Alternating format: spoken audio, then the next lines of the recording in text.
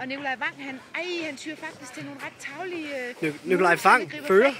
Nikolaj Wang, han fører. Nikolaj Wang, han er på plastpose. Og Heino han råber. fører for sindssygt foran... Nej, Heino, Heino, han sidder bare. Op at stå, Heino! Opgivet. Nikolaj Wang fører, Nej, og. Nikolaj Wang, han fører.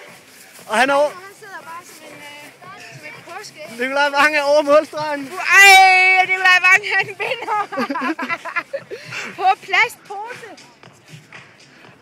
Hej nu. Det er ikke skide godt for næste uge, det der. Det er ikke godt, nej. Heino, hvad sker der? Vi kan slet ikke høre, hvad Heino siger. Så meget bagud af ham. Han øh, kunne simpelthen ikke komme fra start, siger han. Han, han væltede fra start.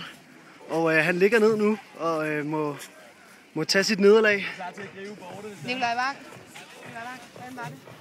Det var et fantastisk race.